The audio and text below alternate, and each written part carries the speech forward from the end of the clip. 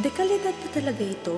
Kapag may duda ka, pero di mo pinansin, di ba't parang may nilalapit ka sa disgrasya? Maging ligtas sa duda. Right, Med? Premium ang pagkagawa.